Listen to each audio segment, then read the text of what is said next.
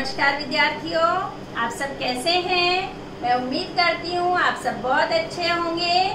आज कक्षा सात, महाभारत का दसवां चैप्टर लाख का घर का अध्ययन करेंगे। इस कक्षा में आपका बहुत बहुत स्वागत है।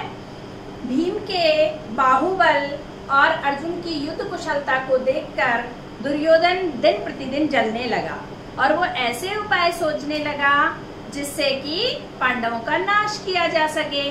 इस कुमंत्रणा में उसके मामा शकुनी और कर्ण उसके सलाहकार बने हुए थे। तो जो धृतराष्ट्र थे, वो बहुत बुद्धिमान व्यक्ति थे, लेकिन दृढ़ निश्चय की उनमें कमी थी। वो अपनी बात पे स्थिर नहीं रह सकते थे।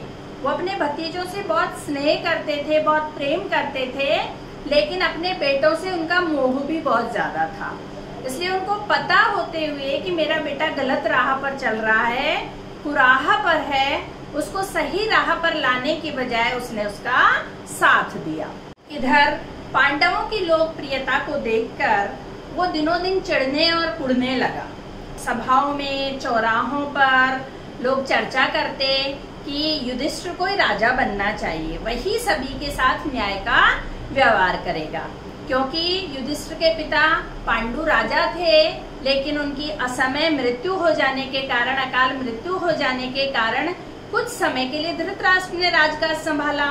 अब चूँकि युधिष्ठिर बड़े हो गए हैं तो धृतराष्ट्र को राज्य रखने का कोई अधिकार नहीं है, और भीष्म पितामह को भी पांडु का राज्य युधिष्ठिर को दिलवा देना चाहिए। इस तरह की चर्चाएँ शहर में होने लगी। जो जो पांडवों की लोकप्रियता बढ़ने लगी, दुर्योधन की चिंता और बढ़ने लगी। वो दिनों दिन कुड़ने लगा, चढ़ने लगा।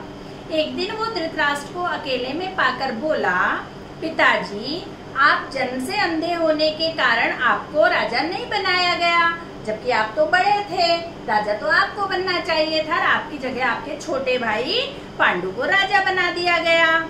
चूँकि जब तो आप नहीं बन पाए, लेकिन अब तो आपके बच्चे हो गए हैं तो नियम अनुसार तो राज्य हमें मिलना चाहिए। यदि युधिष्ठिर को राजा बना दिया गया तो पीढ़ियों तक हम राज सिंहासन का मुँह नहीं देख पाएँगे, और पिताजी, ये अपमान तो हमसे बिल्कुल नहीं सहा जाएगा।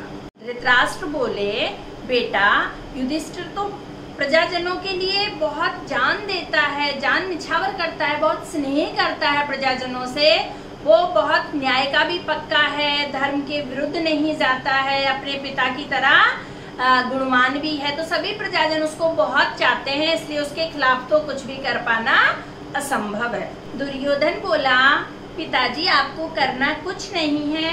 आप तो किसी तरह से पांडवों को वारणावत के मेले में भेज दीजिए। और मैं विश्वास दिलाता हूँ, यदि वो वहाँ जाएँगे तो राज्य हमारा होगा और वो लौट कर भी आएँगे तो हमें कोई परेशानी नहीं होगी। इस बीच अपने पिता पर और अधिक दबाव बनाने के लिए दुर्योधन ने कुछ कूटनीतिज्ञों को अपने पक्ष में कर लिया जिनमें एक कर्णिक ना, नाम का ब्राह्मण प्रमुख था जो कि शकुनी का मंत्री था। और वो तरह तरह के उदाहरण देकर के राजनीतिक दलीलें देकर के और धृतराष्ट्र को समझाने लगा, धृतराष्ट्र को बहकाने लगा तरह तरह से उकसाने लगा। धृतराष्ट्र उसकी बातों में आ गए, सोचने लगे।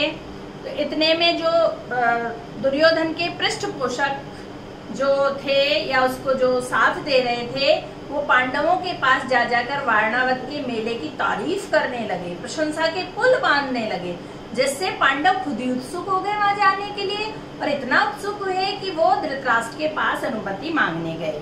धृतराष्ट्र से अनुमति मिली तो पांडव बहुत खुश हुए। उन्होंने भीष्म पितामह से आज्ञा ली और अपनी माता कुंती के साथ वारणावत के लिए रवाना हो गए। पांडवों के चले जाने की खबर पाकर दुर्योधन की खुशी का ठिकाना नहीं रहा और वो अब तरकीब सोचने लगे कि किस तरह से पांडवों का नाश किया जाए, सर्वनाश किया जाए। उसने अपने मंत्री पुरोचन को बुलाया और गुप्त योजना उसे बताई। और गुप्त योजना के तहत पांडवों का काम तमाम करने का उसको आदेश दिया और उसको वारणावत भेज दिया। पुरोचन ने बहुत तीव्रगामी रथ लिया, यानी जो तेज़ी से चलता है वो रथ लिया और पांडवों से पहले ही वो वारणावत पहुँच गया। वारणावत पहुंचकर उसने सारी तैयारी कर ली कि जब तक घर नहीं बन जाता है, तब तक उसने जाते ही घर बनाने का काम शुरू कर दिया। एक सुंदर सा भवन बनाया जो कि सन लाख, मोम घी तेल चर्बी आदि जल्दी आग पकड़ने वाली चीज़ों से निर्मित किया गया। लेकिन उसकी बाहरी दीवारों से पता नहीं चलता था कि इसमें इस तरह की सामग्री का इस्तेमाल हुआ है। तो लेकिन जब पांडव पहुँचे तब तक तो भवन नहीं बन सकता था इतना जल्दी। तो पुरोचन ने उनके और कहीं ठहरने की तब तक तैयारी। तैयारी कर रखी दुर्योधन की यह योजना थी कि पांडव उस दिन इस लाख के घर में रहेंगे और जब वो निशंक हो जाएँगे जब उनको किसी तरह का कोई वहम नहीं रहेगा, आराम से रहने लगेंगे, तब एक रात इसमें आग लगा दी जाएगी और पांडव इसी में जलकर भस्म हो जाएँगे माता कुंती के साथ। अब पाठ तो यही समाप्त होता है, लेकिन आपके मन में एक प्रश्न रह गया होगा कि पांडव जलकर मरे या बचे? तो इस प्रश्न का उत्तर पाने के लिए अगला वीडियो देखेंगे हम। अगले चैप्टर को पढ़ेंगे पांडवों की रक्षा। तब तक के लिए धन्यवाद।